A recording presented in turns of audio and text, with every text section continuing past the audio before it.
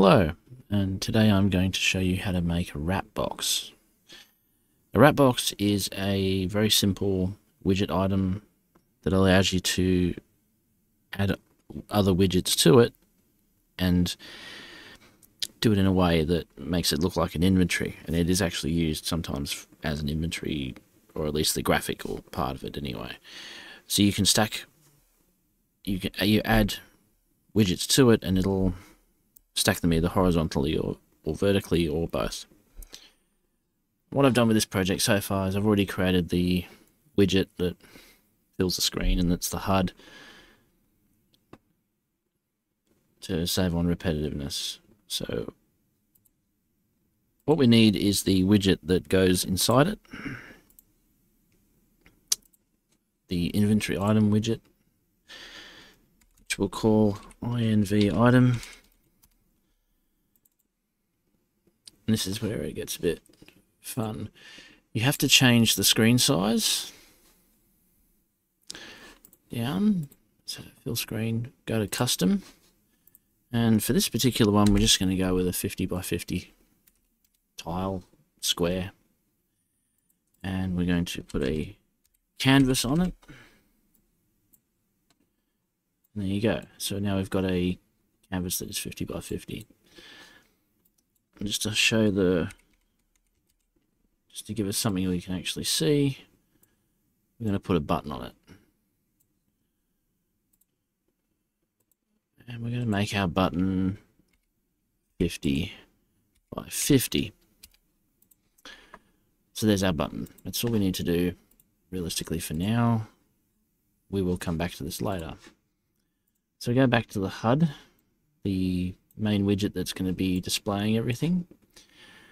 And what we want to do is we want to add a border into the whole thing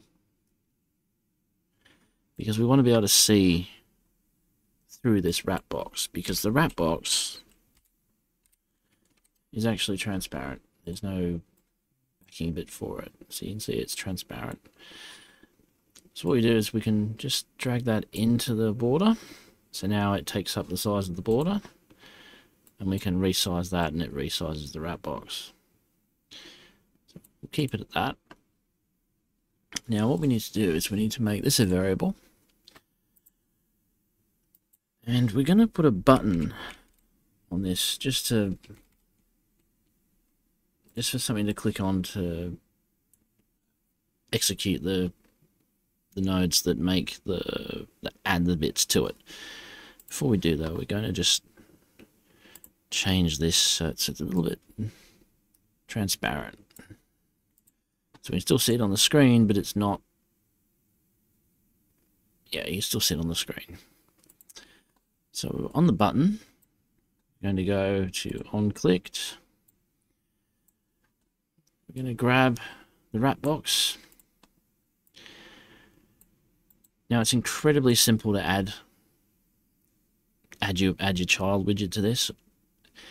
So what we're going to do is we're going to go we're going to create the widget first,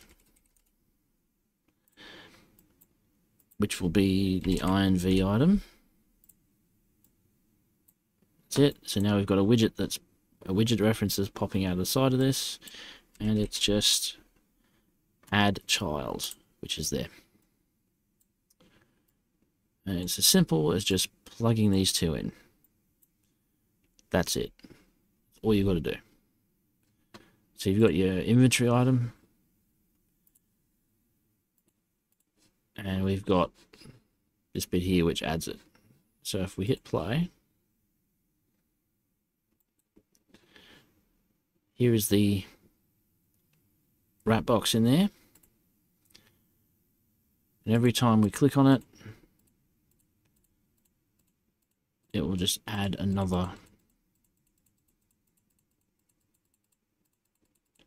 to it.